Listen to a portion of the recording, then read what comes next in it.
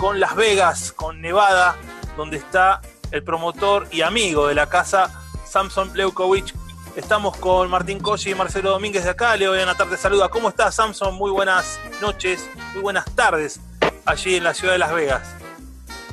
Bueno, bueno eh, no, buenos días, las 10 de la mañana. Ah, perfecto, perfecto. ¿Todo tranquilo por allá? Todo tranquilo. ¿Qué tal, Samson? ¿Cómo te va? ¿Todo bien? Un placer tenerte de nuevo en el programa.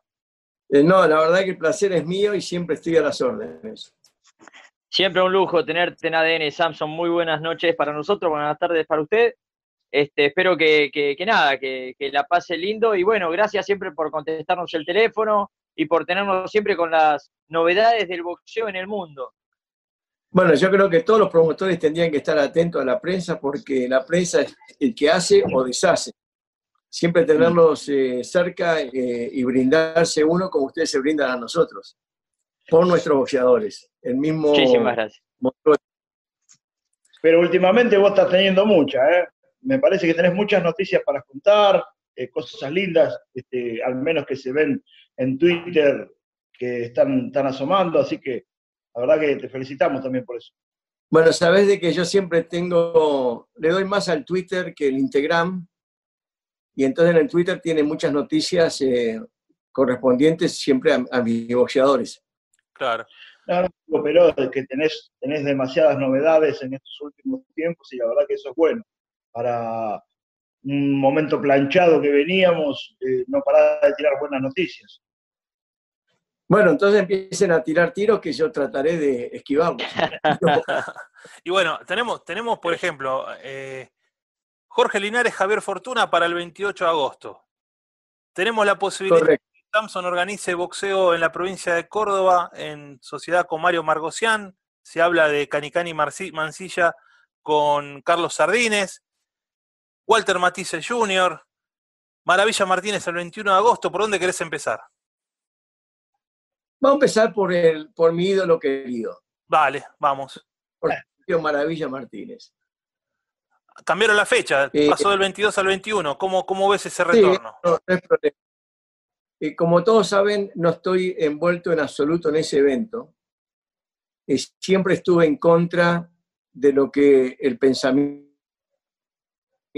de Sergio Maravilla Martínez en volver y pelear con Julio César Chávez Jr., porque lo creí que era muy peligroso y que estaba haciendo mal los deberes. Hoy, hoy, apruebo y apoyo la elección del oponente como tiene que ser, porque no necesitaba entrar, como él siempre fue tan competitivo, y él siempre me decía, tráeme a los mejores, porque si no, no me, no me concentro. Pero los años pasaron y yo creo que para probarse tenía que probarse con un boxeador, eh, viste, eh, accesible, en el cual le puede dar una pelea. Y ahí se va a dar cuenta eh, en, qué, en qué posición está de seguir o retirarse ganador. Se entiende que si pierde con ese, ya no hay vuelta que darle la página. Pero yo ahora lo, apoyo totalmente, lo quiero muchísimo en forma personal y, y boxística más que nada, este, siempre va a ser mi ídolo, pero yo creo que ahora está haciendo bien los papeles y entonces tiene el apoyo mío.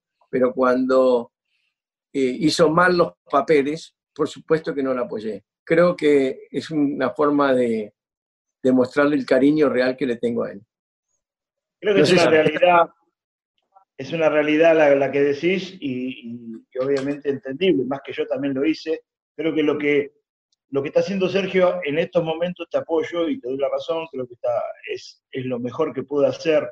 Primero, tantear el terreno, ver cómo, cómo responde todo y después, obviamente, ir a, cruzarse, porque si la idea era eh, también preguntarse qué era, qué es lo que querés vos, llegar a algo, sacarte de una pequeña espina que tenés, qué es. Entonces, pero bueno, de a poco, paso a paso, me parece que era. Bueno, yo creo que también va a demostrar en esta pelea de que no va, no vuelve por dinero, porque eh, lo más probable es que pelee gratis, ¿me entiendes? Pero entonces va a tener, va a ver en qué, en qué parte de, su estado físico, emocional, y mental va a estar, para después dar otro paso, de repente. Porque él puede ganar la pelea por nocaut y decir, no, ya no es para mí. Pero no, no lo van a lastimar. Lo peor habría sido ir ya con un monstruo que le iba a llevar 20 kilos y que él firmó un contrato. Y no era por el dinero, porque no, no tiene necesidad. Entonces yo me tuve que oponer totalmente a eso, porque lo quiero mucho y aparte era totalmente incorrecto. De parte a, ver, a ver, a ver, si, a ver si entiendo, Samson. No estabas de acuerdo que directamente vaya contra una figura, pero sí avalás que empiece a andar un camino que quizás desemboque en una figura. De esa manera sí. Comenzando a, caminar antes de correr. Claro, exacto. Como si, estuviera... Tiene, que, empezar a juntar hija de vuelta. Tiene que agarrar el recorrido. O sea, no, es que o sea, ir, de, de, de 0 a 100, no de 100 a 200. Exacto. Yo, yo creo que para mí es como si estuviera debutando nuevamente como debutó a los 20 años, que debute ahora a los 45 pirulos. ¿viste? Hay que tener, hay que tener mucha humildad después de llegar hasta donde llegó Sergio, de volver a, hasta donde está ahora para volver a empezar. Mucha humildad en Sergio y creo que, que en su cabeza eh, ganarle a Fandiño no es el objetivo, sino que tiene obviamente objetivos más grandes. porque es así? Porque están hechos de, esos campeones están hechos de eso. Yo, creo que él está haciendo eso, eh, esta pelea correctamente, para ver realmente dónde está él eh, eh, en, el boxeo, dónde está él para pelear o dar un paso más adelante. Y lo, apoyo así al 100%, estoy seguro de que irá, no sé si va a ir, por qué televisión irá, si es Teis Sport o ESPN, pero la televisión que sea va a ver los récords del año. ¿Viste? Porque la gente quiere volver a verlo y sabiendo que tiene un oponente que puede hacerle una pelea y él darse cuenta de que si él está para las grandes ligas de nuevo o no está. No importa el resultado, ganando o perdiendo.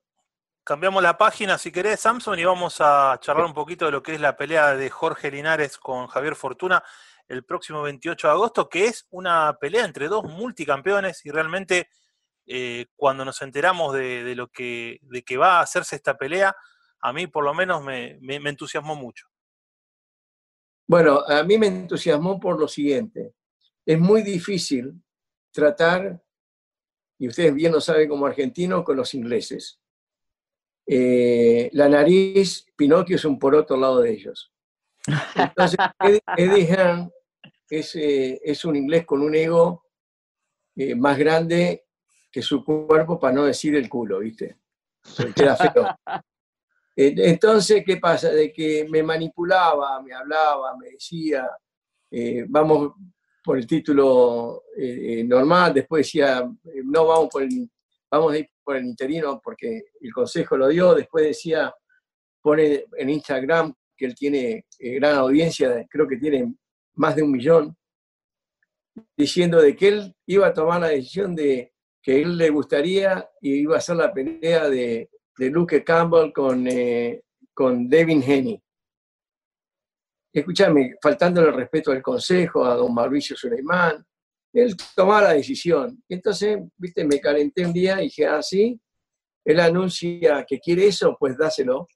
Y entonces fui a Ryan García. Ryan García es un chico joven, eh, con 20 palmares, eh, todavía no se sabe si realmente eh, es lo que él cree que es, y entonces quise enfrentarlo al número uno con el número tres que es este, eh, García. Por supuesto que dijo que no, muy inteligentemente, si no fue él, fueron sus allegados. Llegué al, próximo, que es Jorge Linares, un peleón, dos campeones mundiales. Se entera el, Eddie Hearn y, y, dice, no, yo voy a pelear por el título interino y tú haces lo que tú quieras, pelea 10 asaltos pero no contó con mi astucia, por eso me hice en mi caso boxeo. llamé a, don Mauricio, le dije, Mauricio, eh, tu papá, que en paz descanse, don José Suleiman dijo muy sencillamente, el título diamante es para unir 12 campeones y de categoría, y eso es el orgullo del, diamante. Y los tuvo eh, Manny Pacquiao, eh, ese, el mismo Linares. Maravilla. Maravilla. El segundo en tenerlo fue Maravilla pero fue el momento. A Maravilla tampoco le llamó mucho la atención, pero después le expliqué que él sigue siendo campeón, que era solamente un título eh, para una vez que no lo podía defender. Claro, eso no y después lo tuvo, lo tuvo este, eh, varios eh, boxeadores de, nivel como Mayweather, en fin, todos ellos tuvieron este, el, el, el título de diamante. Entonces, ¿cómo no lo va a merecer volver a retenerlo en este caso Jorge Linares, que es gran amigo mío, y, este, y también eh, Fortuna, que va a ser el tercer tricampeón, el único en la historia de la República Dominicana. Entonces hice esa pelea con Golden Boy, que es mi familia, porque ustedes tienen que acordarse el que trajo a Golden Boy a la Argentina no fue nadie más que yo. Nosotros eran de Queda claro, quédate tranquilo que queda claro. El otro, el otro, el otro es de palo. y, después, él se atribuyó, porque tenía una gran figura como Lucas Matisse, eh, se pensó de que era todo eterno, pero no sabe que en el boxeo, si no progresás y si no eh, eh, trabajás para hacer más estrellas, dejas de ser eterno. Y esa eternidad se le terminó. ¿Qué pasa, qué pasa con, la, con la pelea que, vas, que querés organizar y con el vínculo que estás teniendo con Mario Margosian eh, en Córdoba, esta pelea entre eh, Canicani Mancilla y Carlos Sardines? Bueno, creo que ahí estás un poco equivocado. La de Córdoba no es con Margosian. Es con Tello, con, con Chartelo. Sí, es, es este Charlie Tello, Carlito ah, Tello, es el único. Esos son los ojos míos en la Argentina.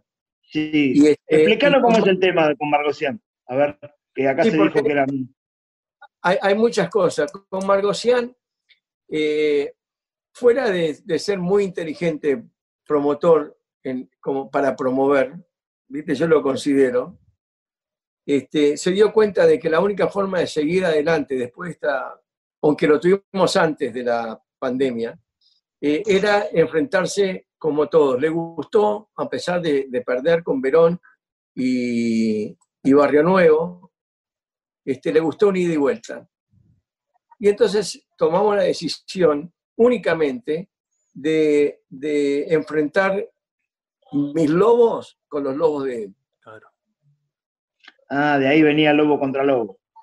Exacto, no, no era que eh, vamos a ser socios o vamos a unir las dos este, promociones porque... Muy buena aclaración. Eh, sí, es, eh, o sea, no, no es conveniente porque siempre va, si no hay competencia, no hay buenos espectáculos. Tal cual. Y por supuesto, durante los mm. últimos años, creo yo, que los espectáculos que estoy dando yo con, con Charlie, por supuesto, que Charlie cuando empezamos a trabajar, dije, te voy a enseñar al estilo americano eh, de, muchas cosas, no tan solo de poner buena oposición, creo que nuestros shows son los, eh, los más destacados de Teis Sport, no todos, pero gran mayoría de, los eventos, porque a veces hacen muchos buenos eventos los otros promotores, pero tenemos que mantener la calidad para la audiencia. La pantalla tiene que brillar. Y él lo entendió mientras los otros no lo entendieron. Siguen con un ego y bueno, cada uno con cada cual. Yo creo que mi venida a la Argentina eh, ha, brindado otra oportunidad, otra calle, otro túnel para que algunos boxeadores vean la luz nuevamente en diferentes túneles de lo que había. La competencia es lo mejor que hay entre promoción, entre los promotores.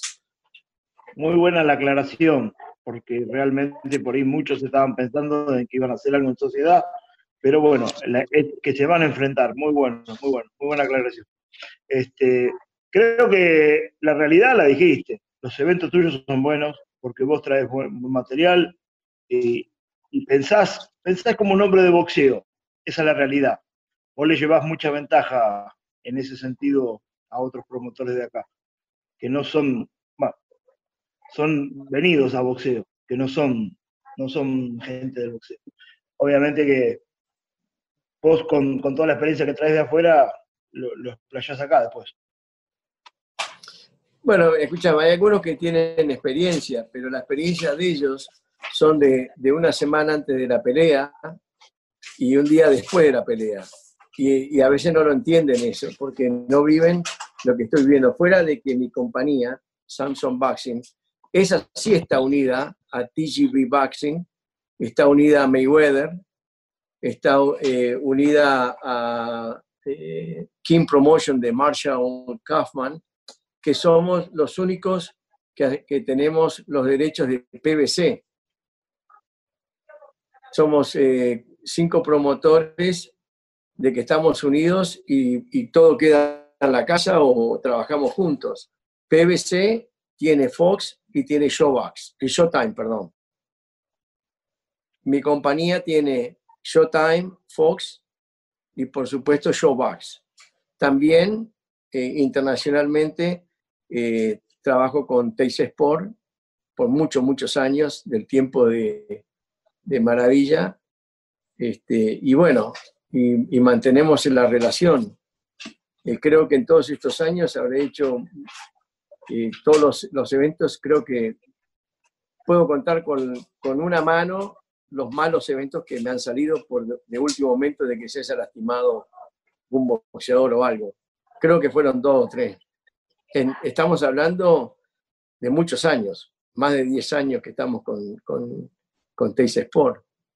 Por lo tanto, creo que eh, yo siempre tengo que ser este, hacer comparaciones, porque sin, sin haber otros promotores o competencia, este, uno se va dejando. Y, y, yo creo que la mejor que hay para el boxeo es la competencia. Y otros no lo entienden, porque si no hay competencia, no hay buenos programas. Samson, el macho alfa de, tu, de tus lobos sería Amilcar Vidal. Y el macho alfa de los lobos de Margocián sería Monzón Lovera. Y son de la misma categoría. ¿Te imaginas esa pelea? Van a tener que alquilar eh, eh, el MGM para hacer esa pelea, porque es para alquilar balcones. Eh, no, yo creo que va a ser una gran pelea. El problema de que con lo que estamos pasando todos en nuestras vidas, eh, va a ser sin público, lamentablemente, pero creo yo que la, la pantalla va a brillar ese día. Sí, la verdad que es un peleón, la verdad que es un peleón fantástico porque son dos exponentes de primerísimo nivel y saldría una pelea explosiva, me parece. Yo, yo creo que sí, creo que va a ser la pelea del año. Eh, los dos están hambrientos. E inclusive, viste, yo creo que es tiempo de, enfrentar con los mejores, especialmente ahora, después de tanto tiempo, Teis Sport tiene que ganarse su lugar de nuevo, porque tiene mucha competencia del exterior. Entonces, esa es la forma de ganarla. Vidal está entrenando normalmente allá en Uruguay, ¿no está? ¿O está, está en Montevideo. Está en Montevideo. Eh, iba a pelear, se le canceló la pelea y regresó. Sí, sí, por eso, por eso nos acordamos. Y este, pero él entrena todos los días. Él, eh, él, está en su mente ser el primer uruguayo campeón mundial. Y la verdad me siento muy orgulloso como promotor y por supuesto más como uruguayo. No, obviamente que si tiene metas es muy bueno. Habla muy bien de él eso. Forjarse las metas es lo que a uno lo obliga a hacer las cosas bien. No, y le sobran condiciones, aparte, le sobran condiciones. Creo que estás, Samson, e, en un gran proyecto, sería el bronce para tu, para tu campaña como promotor, eh, Amilcar Vidal, campeón del mundo. Bueno, eh, eh, yo creo que en estos momentos, después de, del elite que tuve con Sergio Maravilla Martínez, este, lo vuelvo a tener ahora con eh, David el Bandera Roja Benavides, con Javier Fortuna, con Jason el Banana Rosario, viste que, eh, que se hizo ahora campeón mundial eh, unificado. No, no. lo de Banana Rosario fue tremendo. fue tremendo lo de Banana Rosario. por ejemplo, el Banana, la primera pelea que tuvo en Estados Unidos perdió por nocaut. Y, y él capaz que va a ver esto, sea que la historia es, correcta. Él llegó diciendo que él iba a noquear a todos, que él era la última Coca-Cola del desierto, y ve a su contrincante y le falta el respeto cuando está comiendo. Le hace esta, esta cosa así. Que le va a cortar el cuello.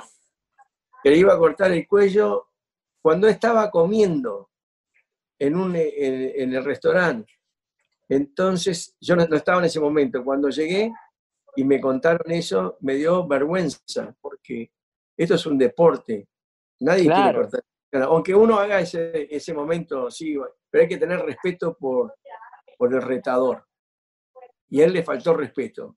Y entonces en ese momento le dije, mira, tenés que ponerte todas las pilas porque vas a perder la pelea, porque Dios castiga uno nunca le falta respeto, y menos cuando está comiendo tu retador.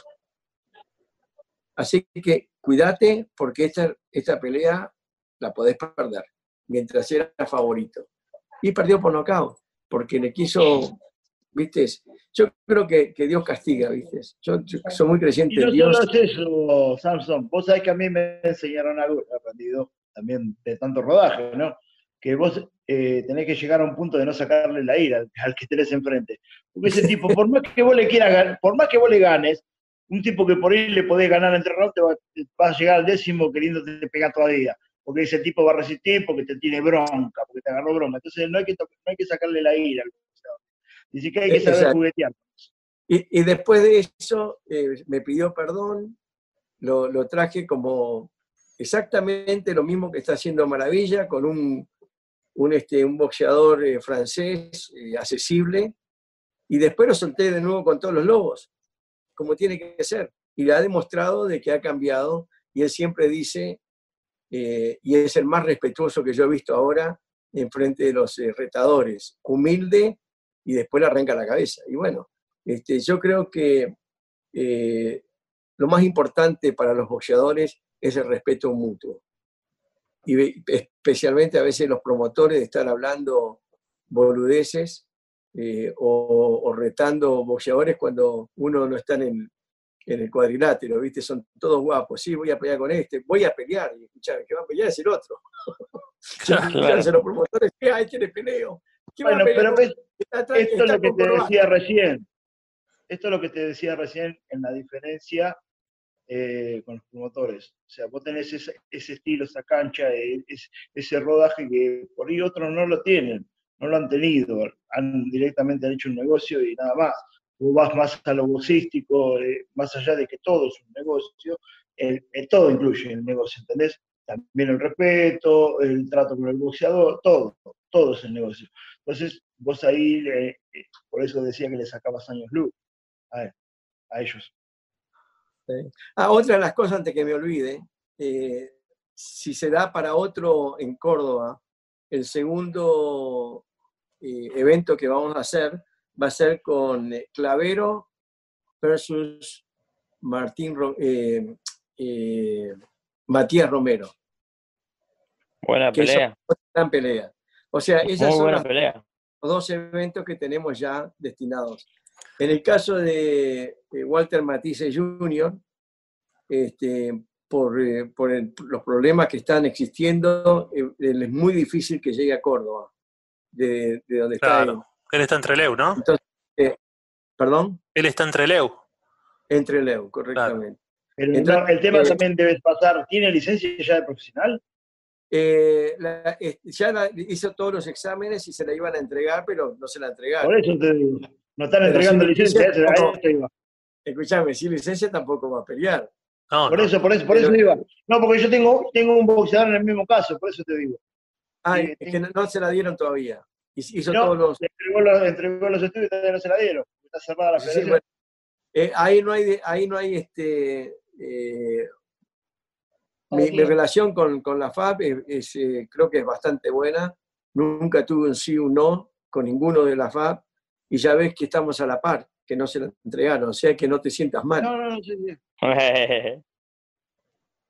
no, no porque no va este, pero, pero igual, aunque se nos entreguen, está muy difícil de que llegue a, Córdoba y aparte el gobierno de Córdoba no quiere nada, nadie de fuera de la provincia. Claro. ¿Viste? Especialmente de, otros lugares, pues, vamos a decir, este, eh, en, el caso de Buenos Aires, el Gran Buenos Aires, que están, eh, están en un grave problema. Sí, sí, sí. Interpreto. Mm. El plan, el plan. Nada, contra los porteños, nada contra los porteños. No, no, no, no, no, sabes lo que te digo. Ya, me lo imaginé, aparte, fíjate. ¿Cuál, cuál es, dentro, dentro de la, de la normalidad, de, de, que esto vuelva a la normalidad, Samson, cuál es el plan con Walter Matisse Jr.? ¿Cómo lo vas a ir llevando? Eh, mira, primeramente eh, voy a intentar eh, comenzar su carrera y saber realmente qué es lo que tiene.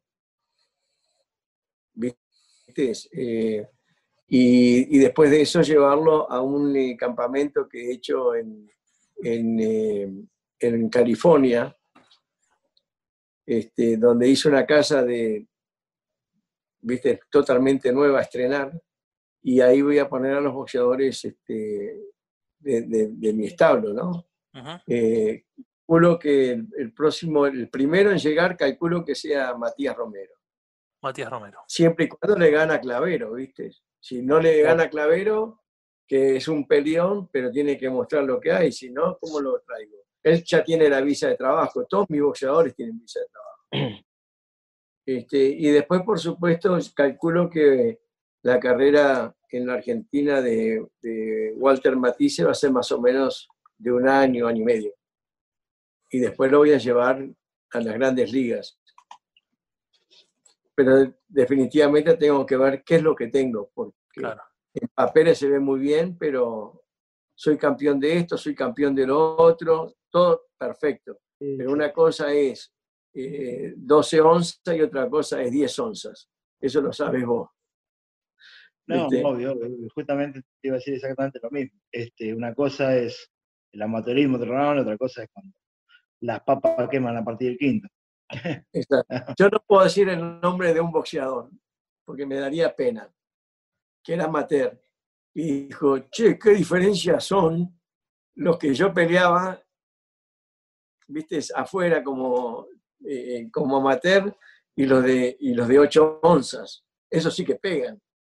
Y duele. Bueno, escúchame, esa es la diferencia. Y a veces puede ser un gran eh, viste, amateur, y cuando llegas a... es diferente el boxeo profesional, es muy diferente. Y entonces este, ahí se dan cuenta de los golpes y si tienen este, ¿viste? Si, tienen lo que necesitan los pantalones para seguir su carrera como, como profesional. Y yo creo que eh, Walter Matisse Junior, le tengo gran fe, pero va a tener que demostrar y va, a tener que sentir el de 10 onzas. Y especialmente el Corti, que esos son no, pero claro. ¿Sabes lo que hacía yo en amateur? Yo en amateur pesaba 83 kilos. Entonces, la categoría medio pesado era 81. Entonces, bajaba 81, peleaba con los buceros y después peleaba con los superpesados. Peleaba en tres categorías distintas. Así que. con el diablo, no me diga con quién. con todo Escúchame, yo tenía, vos tenés que eh, enclonar tus huevos. y ahí, te haces rico. Te los tienes que mandar al museo. Te los tienes que mandar al museo, Samson, en una cajita de cristal y los pones ahí en un costadito. Exacto. Bueno, mira, hijo no pienso tener más. Pelear no pienso pelear más, así que por ahí capaz lo dono ahora. Hay que hacer todo un proceso para disecarlo, Marcelo. No, bueno, por lo menos así lo, puedo, así lo puedo ir a ver yo, por lo menos, porque si no lo van a ver los demás, los cuadritos. Samson, para, para, ir, para ir cerrando la, la entrevista, eh, ¿cómo, ¿cómo está el tema del COVID allí en Las Vegas? Eh, ¿Viste algún cambio en el último tiempo? Mira, en, en, Las Vegas, ahora como todo, viste las demostraciones que hubieron y todo eso, los destrozos que hicieron, este, eh, ha aumentado bastante. Ah, Pero, eh, viste, este, hay, hay, dos cosas. Eh, te podés morir del COVID o te podés morir de hambre. Mm. Entonces, la mayoría no se muere de hambre, se muere por suicidio. Y yo creo que en Argentina va a tener que el presidente tomar una decisión, los viejos como yo, de 70 años o casi 70, quedarnos en casa, cuidarnos más y la juventud que salga a trabajar, que salga a vivir, que salga a disfrutar este, los restaurantes, eh, tratar de, cuidarse, de no hacer locuras, pero ya es tiempo de que abran las puertas porque si no se van a morir igual. Si no hay una enfermedad, otra.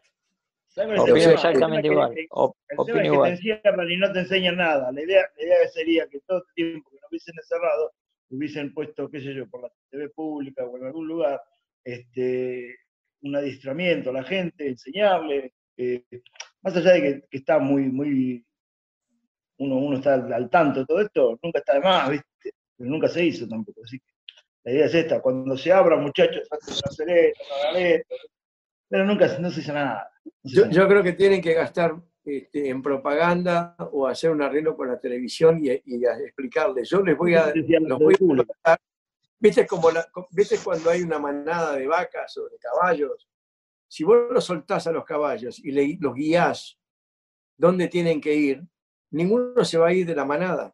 Entonces yo creo que el gobierno argentino, humildemente, tiene que hacer lo que está haciendo Estados Unidos, abrir y cuidarse, aunque y si subió es por porque han hecho las cosas mal, pero no fue la gente normal, fueron los anormales que rompieron casas, que rompieron negocios, que robaron, ¿viste? Esos son los, los, que realmente están contagiados.